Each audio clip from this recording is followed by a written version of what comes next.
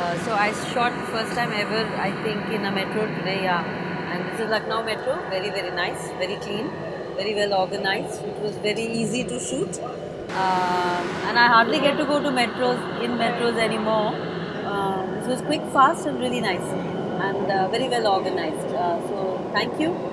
And Lucknow is anyways a pleasure to come and shoot in. I've been coming here for years now to shoot in Lucknow.